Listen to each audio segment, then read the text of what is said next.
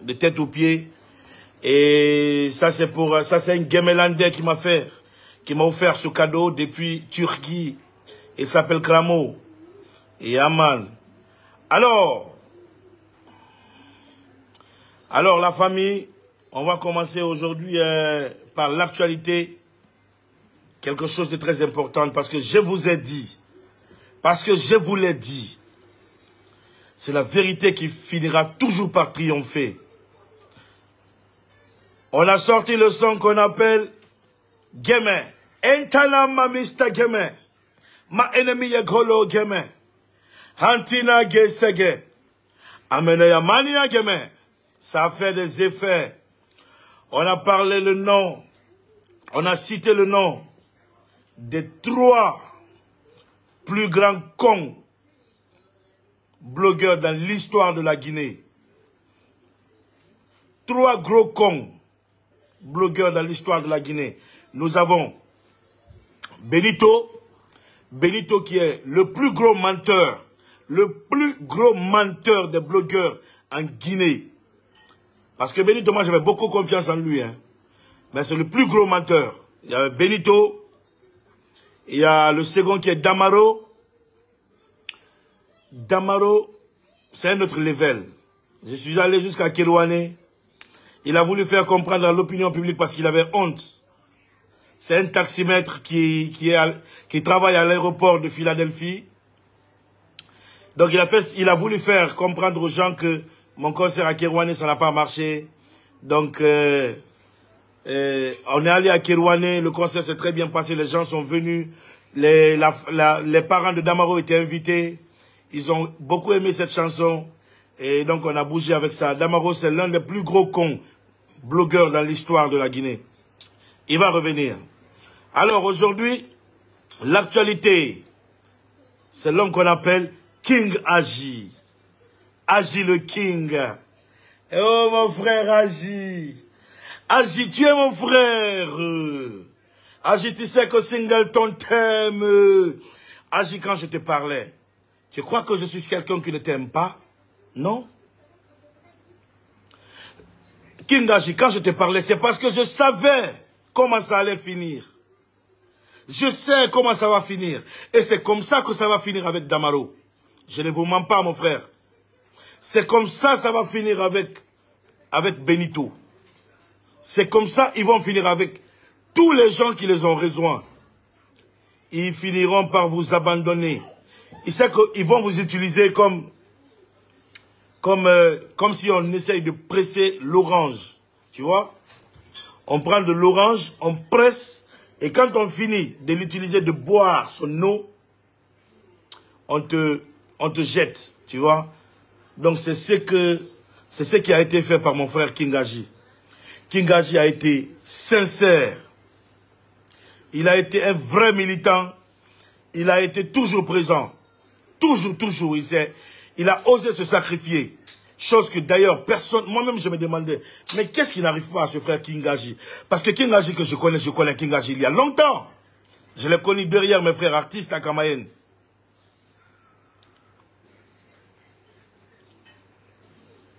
Et Allah, King Aji. King Aji, mon frère. King Aji, je t'ai dit, tu es en train de faire un combat auquel on ne sera pas reconnaissant pour toi. On va t'abandonner à la fin. C'est-à-dire, King tu sais ce qui t'est arrivé, mon frère? On t'a pris, on t'a mis dans une pirogue. On t'a envoyé jusqu'au bon milieu. On, t'a... Eh, King mon frère, tu devrais, c'est-à-dire, tu devrais suivre les frères Nieloï. Les frères Nieloï, les frères Nieloï, c'est-à-dire, frères et sœurs Nieloï de la façon dont ils se sont tués, de la façon dont ils se sont battus, de la façon dont ils ont, ils ont tout sacrifié. Oh, ils ont été abandonnés enfin. Tu devrais, ça devrait te donner quelque chose. Ça devrait te donner à réfléchir. Qui agit. Je ne connais pas le fond. Je ne connais pas le fond de la chose. Mais j'ai suivi ta vidéo de fond en comble. Mais comme euh, je suis beaucoup occupé, je suis en train de travailler sur mon album toute la journée. Depuis toute la journée, j'ai voulu faire un direct. Depuis, depuis la journée, j'ai voulu faire un direct, mais je travaillais au studio. Après le studio, il fallait que je parte dire bonjour à maman, il fallait que je m'occupe de certaines choses, il fallait que, il fallait que je, je joue un peu avec mon bobo. King Agi, on t'a pris, on t'a mis dans une pirogue avec les bonbons, les biscuits, les jus d'orange, et on t'a envoyé jusqu'au beau milieu de la mer. Et, on a, ils ont troué la pirogue. Et puis on t'a laissé au beau milieu de la mer. Maintenant, tu as insulté, tu as menti sur le gouvernement de Mamadi Doumbouya pendant trois bonnes années. Et aujourd'hui, tu as été sincère, tu as été reconnaissant, tu as été une personne sincère, c'est-à-dire, ton combat, c'était un combat sincère, c'était un combat, c'est-à-dire, on ne pouvait pas te dire que c'est parce que, c'est parce que tu es ci, parce que tu es ça, parce que tu es, tu es un vrai fils de Bascotte, qui avait sa conviction, au fait et tu es quelqu'un avec qui on pouvait avoir confiance. Parce que moi, j'avais tellement confiance en toi quand je t'écoutais et tout. La confiance a, été gâtée où? C'est quand le jour où tu as pleuré, tu as sorti tes larmes, tu as pleuré pour dire que Agba champion est mort, Alia est mort, et tout ça. Et après, le général Mamadi Doumbouya, président, a fait sortir ces gens-là. C'est depuis ce jour-là ma confiance en toi s'est détériorée. Ça s'est gâté carrément. Mais, qu'à cela tu es, tu es un homme. Tu peux commettre des erreurs et tout. Et aujourd'hui, toi-même, tu t'es rendu. Tu sais, quand on, quand on conseille les gens, ils ne vont pas comprendre. Et parce qu'ils sont sur un chemin, ils pensent que ce qu'ils sont en train de dire, ils pensent que dans le chemin qu'ils sont en train de mener, ils pensent que c'est le chemin qui est le droit chemin de la lumière. Et aujourd'hui, mon frère Agi, toi-même, tu as vu. Tu as vu de tes propres yeux. Et moi, dans tout ça, tu sais ce qui me fait mal Pour toi, mon frère King Agi? Parce qu'aujourd'hui, c'est direct. 50% ça va parler de toi. Tu sais, ce qui me fait mal, ce qui m'a le plus choqué, c'est quand j'ai vu le commentaire de certains gens avec lesquels tu te battais. il y a quelqu'un qui a dit que tu ne, même si tu quittes leur navire, que tu n'as, tu n'as aucune loi, tu n'as aucun poids. Tu n'as aucun poids, King agit. C'est ce que j'ai lu dans un commentaire. Tu vois ce que je veux dire? Va voir le commentaire des personnes que tu as défendues pendant des années des gens pour lesquels tu t'es sacrifié. Pendant des années. Des gens pour lesquels on pouvait t'emprisonner. Des gens auxquels on pouvait t'extrader et venir en Guinée faire passer toute ta vie en prison. Tu vois les commentaires aujourd'hui parce que, parce que juste, c'est-à-dire 24 heures, en 24 heures, tu as vu les commentaires que les gens mettaient sur toi? Kingaji, mon frère, tu as vu le commentaire? Tu as vu les commentaires qu'on mettait sur toi? Parce que tu as dit juste, à partir d'aujourd'hui, parce que tu as parlé sur, tu as parlé au moins, je ne sais pas, si tu as fait 40 ou 50 minutes ou une heure de temps. Mais ce qui m'a le plus tiqué, tu as dit, je ne vais plus donner ma vie. Je ne vais plus jamais risquer ma vie pour qui que ce soit. Un. Deuxièmement, il y a aussi quelque chose qui m'a aussi tiqué. C'est quand tu as dit, ma vie ne compte-t-elle pas pour ma famille? Ces deux phrases, mon frère Agi, ça m'a le plus choqué. Mon frère Agi, ça m'a plus choqué. C'est-à-dire, ça, ça a voulu me donner les larmes aux yeux. Quand j'ai, quand je t'ai entendu dire ça, j'avais mal. J'avais tellement mal, je te parle sincèrement, mon frère Agi. Peut-être que tu vas regarder ma vidéo, peut-être pas. Mais quand, quand je t'ai entendu dire ça, j'ai été choqué. Choqué. Parce que quand on allait réussir à te faire extrader en Guinée, mon frère,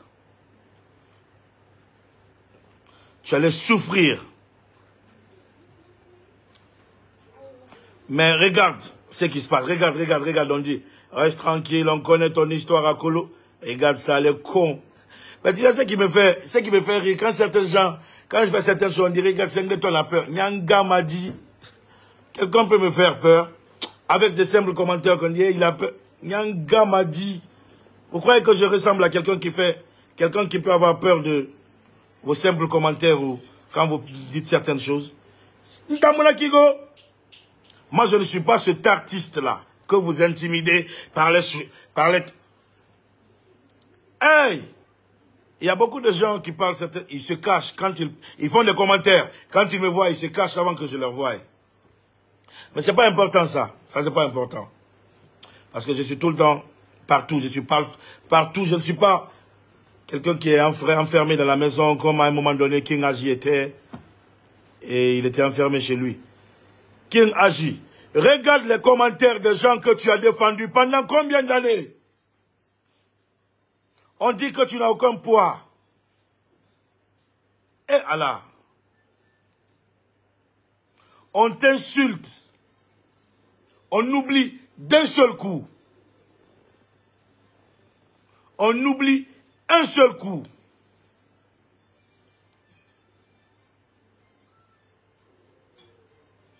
Aujourd'hui, tu es abandonné à Dakar. À toi seul.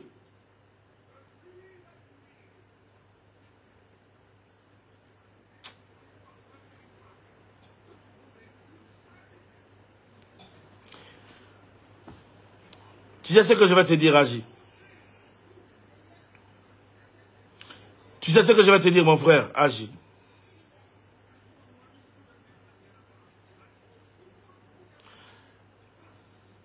Ce que je vais te dire, mon frère Agi. Moi, j'ai fait une chanson. J'ai parlé de toi, d'Amaro et de Benito. Parce que vous êtes, vous êtes des trois gros cons, des trois gros récalcitrants. Nare aninge mugore kanama.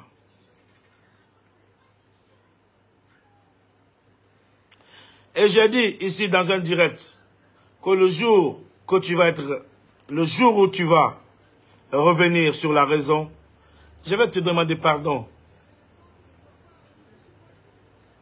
Le jour où tu vas revenir à la raison, parce que tu connais la raison, tu as dit beaucoup de vérités, des vérités rebelles, des vérités crues, et tu l'as dit, parce que tu, parce que tu es dans la boîte, tu connais la vraie chose.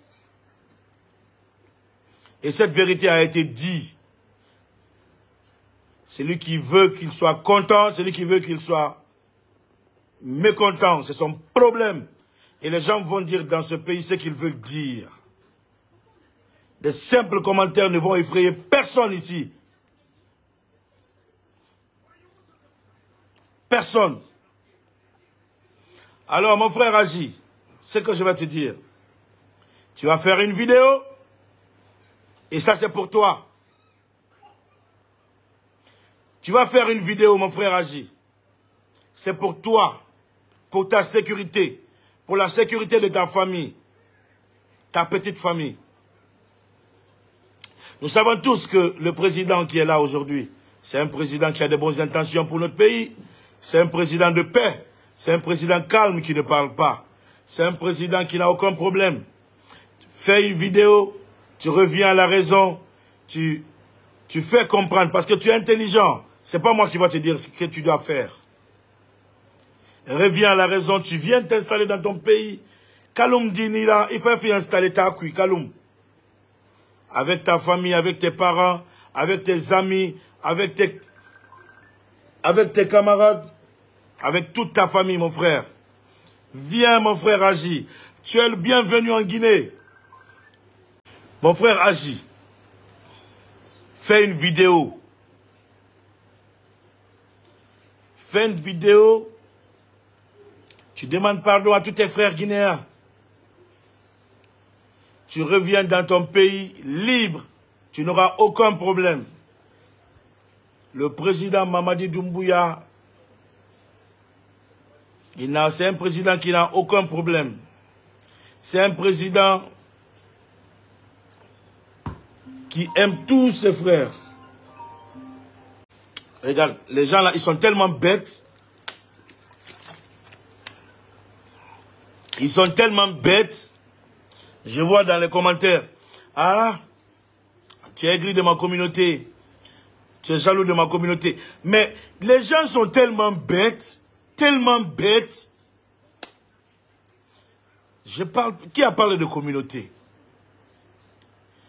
Dans cette vidéo, je parle des politiciens, des partis politiques. Si vous collez la communauté à, la à un parti politique, c'est votre problème. Et c'est votre affaire. Ça n'engage que vous. Ça n'engage que vous et vous. Nous, on parle ici. Moi, je parle des partis politiques. Aucun parti politique ne collé à de l'ethnie. Alors, c'est une grosse faiblesse. C'est une grande faiblesse quand on colle de l'ethnie à son parti politique. C'est-à-dire, moi, si ce n'est pas mon ethnie qui va être au pouvoir, quiconque viendra au pouvoir, je ne suis pas avec lui. Moi, la foca, ça ne va pas marcher comme ça, mon frère.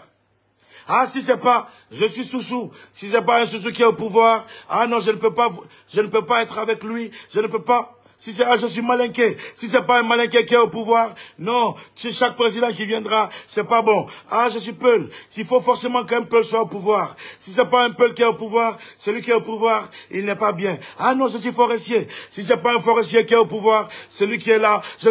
va te faire foutre. Bomboclat. C'est avec l'esprit mauvais là. Vous n'allez jamais évoluer dans ce pays. Et maintenant, le pays là va évoluer sans ce genre de personnes. Le pays, là, la Guinée, ça va évoluer. Sans le genre de personnes qui pensent que si ce n'est pas leur ethnie, personne ne doit être au pouvoir. Ce pays-là va évoluer sans vous.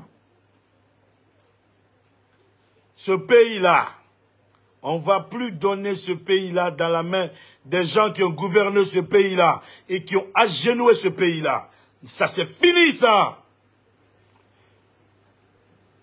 Il y a tellement de politiciens qui ont eu la chance de gagner ce pouvoir.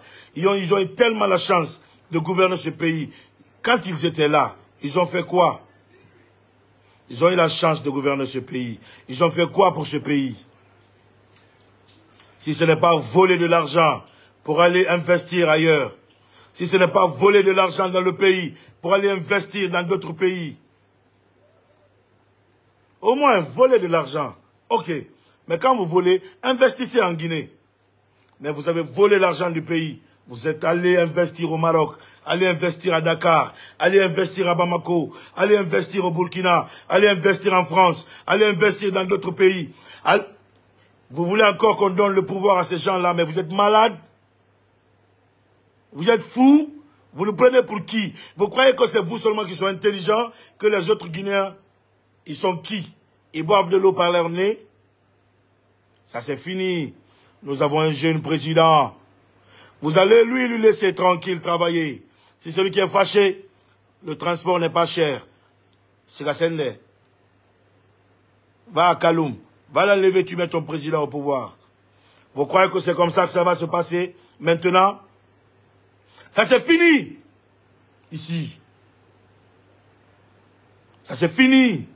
L'époque où on pouvait jouer avec la mentalité des gens dire que ouais, il faut que mon ethnie soit au pouvoir. Ah, il faut que mon ethnie soit au pouvoir. Ah, il faut que mon ethnie soit au pouvoir. Vous croyez que c'est ça? Hein? Ça c'est fini, ici. C'est pourquoi il y a beaucoup de gens qui sont partis à Nicaragua. Allez, en tout cas. Voyager, quitter. Ici, c'est fini les pagailles là. où on faisait les pagailles, pagailles, pagailles, pagailles. Pagaille Herisuru. Nanga pagaille C'est avant ça. Vous prenez des téléphones.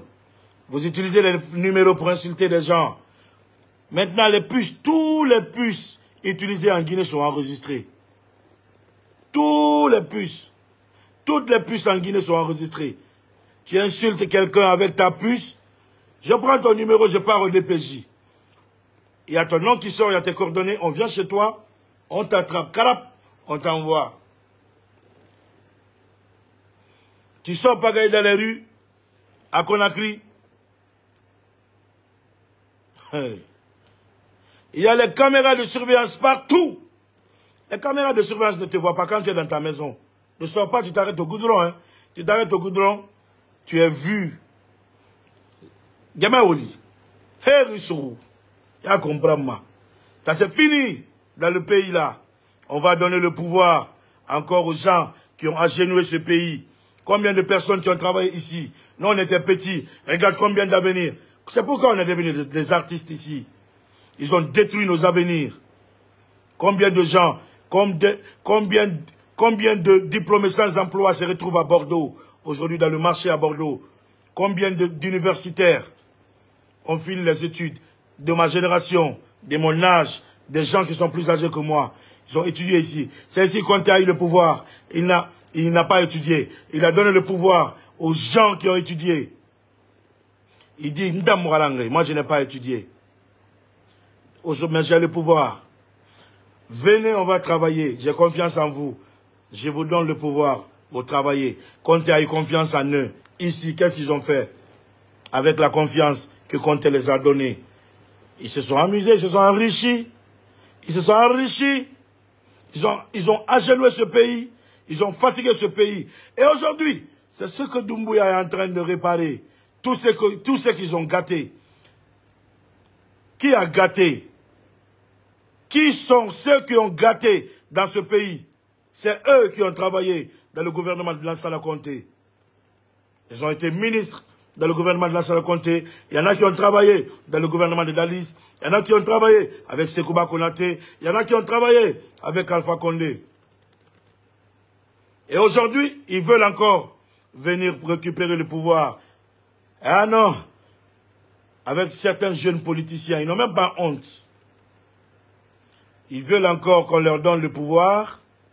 Ils ont détruit, nous, ils nous ont détruit notre génération.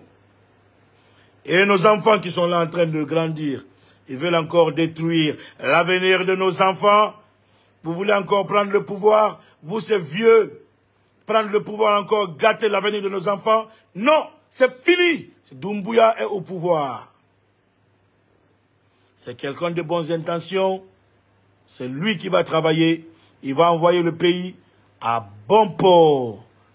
Et après, il va organiser des élections. C'est pas au moment que vous, vous voulez. Ça, c'est fini, ça, hein. D'ailleurs, c'est pas le peuple qui demande les élections. Ce sont les politiciens qui sont flanqués ailleurs, qui demandent à ceux qu'on rend le pouvoir pour qu'ils viennent s'accaparer du pouvoir encore faire agenouer ce pays. Ça c'est fini ça. C'est pourquoi je n'aime pas vos politiciens. Eh, Ntawa politicien, les politiciens, moi Moi je n'aime pas vos politiciens guinéens là. De A à Z, tous ceux qui ont travaillé dans le gouvernement, dans les gouvernements passés ici. Moi je ne les aime pas. Hein. Il faut aller leur dire. Moi je n'aime pas vos politiciens ici, go. Ils ont travaillé ici. Ils ont fait quoi pour ce pays?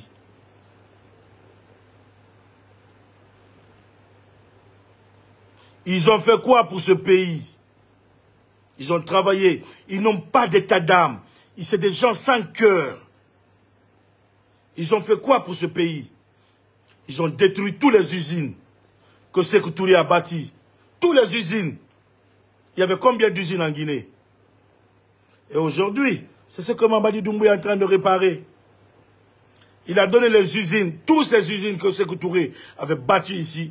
Qu'est-ce qu'il a fait aujourd'hui? Qu'est-ce que le général Mamadi Doumbouya a fait? Il a appelé tous les investisseurs qui veulent travailler. Il a donné ces usines aux gens-là. Travailler ces usines. Renouveler. Il a donné ces usines aux gens-là. Vous connaissez, et Allah, il y a la route, il y a une route, depuis autant de compter. Il y a une route Kankan Kisidougou, la route de Tokounou. C'est une route qui fait 180 km. Tu peux faire, tu peux bouger à 7 heures, à Kankan, tu rentres à Kisidougou à 23 heures ou 0 heures. Aujourd'hui, cette route-là, le projet de cette route est signé. Ça doit être fait. Il y a tellement de, il y a tellement de travail. Autant de compter, à Capororaï, ils ont délogé des gens. Les maisons ont été gâtées. Les maisons ont été gâtées. Aujourd'hui, Dumbuya a donné la terre. Ils ont donné leur parcelle. Et avec des titres fonciers. Tout ce que ces sales politiciens-là ont détruit, c'est ce que lui, il est en train de réparer aujourd'hui. Ils ne veulent pas que le grand public soit au courant de cela.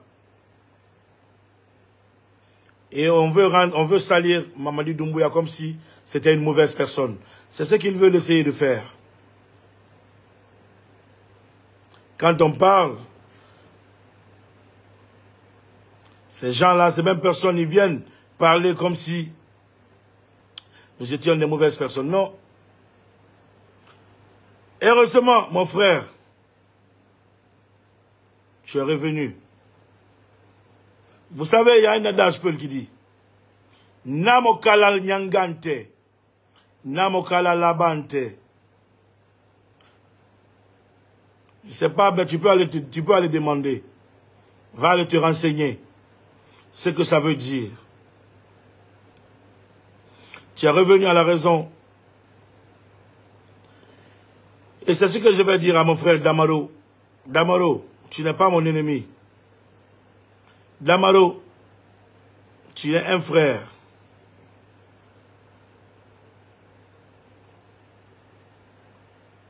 Benito, tu n'as pas un ennemi, tu es un frère.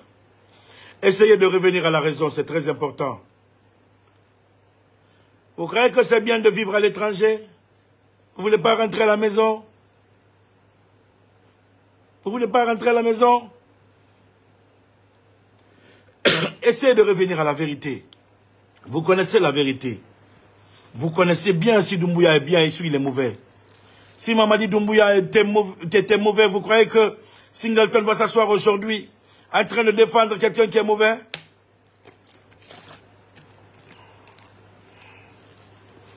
Doumbouya, c'est quelqu'un qui est en train de travailler pour ce pays. Même s'il dit qu'il ne veut pas, il veut partir. Oh, nous, on va dire non, tu n'iras pas. Même si tu veux partir, essaye de mettre les choses sur le droit chemin de la lumière, comme tu as commencé. Et quand tu finis, on cherche un jeune, confiant. C'est pas un vieux politicien, un jeune qui a la tête bien assise et lui aussi, c'est sous observation de l'armée. Parce que moi, j'ai confiance à l'armée, au pouvoir de l'armée qu'au pouvoir civil. Hein. Les civils, c'est pour gagner le pouvoir. Baiser les go, les meufs, essayer de prendre les meufs, les envoyer dans des hôtels. Et manger beaucoup. Manger beaucoup, aller chier. Fini. Et ça, c'est fini. Acheter des téléphones iPhone à chaque fois qu'il y a iPhone des, nouveaux téléphones iPhone. On dit, ouais, c'est mon Sogadadi. Ah, je viens voir mon ministre. Sogadadi.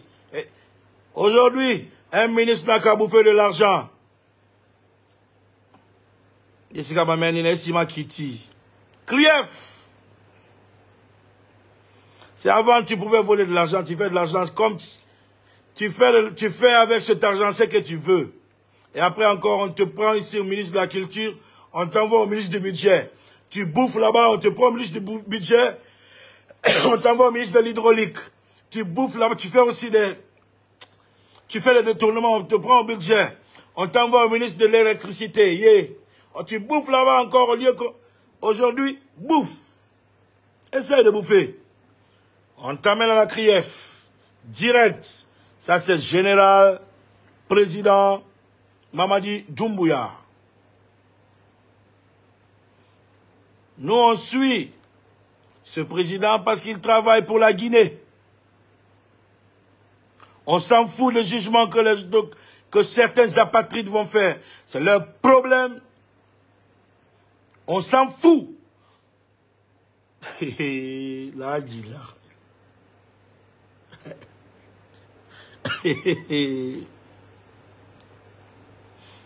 Et Singleton, vous me voyez tous les jours? Je croyais que quand j'ai commencé à... Quand j'ai sorti le son Mamadi Doumbouya, vous avez mis les commentaires, je croyais que je n'allais pas faire deux jours dans la vie. Je croyais que j'étais mort il y a longtemps. Et les gens qui ont mis ce commentaire-là, quand je passe, je les revois, on se voit. Ils m'ont fait parler, hey, Mr. Gamer, Mr. Gamer.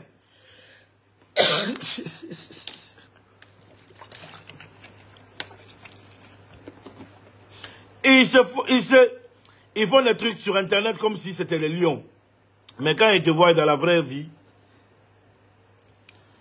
ils font le chat ou le poulet. Après, je les mange.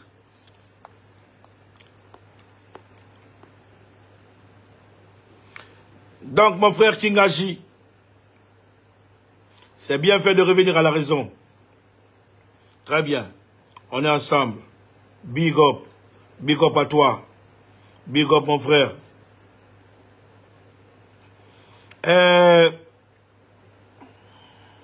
on va parler aussi de mon album. Mon album, ça s'appelle La chute du faucon rouge. L'album sortira le 9 novembre au stade Petit Sori de Nongo. J'invite tous les Guinéens, tous les bons Guinéens, pas les partisans hein, politiques. Moi, c'est les fans que j'invite. Comme vous avez dit là, sans vous, personne ne peut remplir des concerts en Guinée, que personne ne peut remplir en Guinée des concerts de stade en Guinée. Restez chez vous. Vous allez voir mes Gemelandais. Vous allez voir ce jour-là mes Gemelandais au stade remplir comme pas possible. On va faire un concert de ouf. Oh my God. My Godness. J'ai prie Dieu qu'il donne longue vie au général Mamadi Doumbouya pour qu'il amène ce pays, pour qu'il conduise ce pays sur le droit chemin de la lumière. Qu'il, que Dieu fasse que tous ces gens qui ont déjà travaillé dans ce pays, c'est-à-dire des gens qui ont travaillé dans des gouvernements passés, qui ont agéné ce pays, que, que Dieu fasse qu'ils s'affaiblissent, qu'ils s'affaiblissent, que Dieu ne leur donne jamais ce pouvoir pour encore qu'ils essayent de voler nos ressources pour aller encore amener ça ailleurs.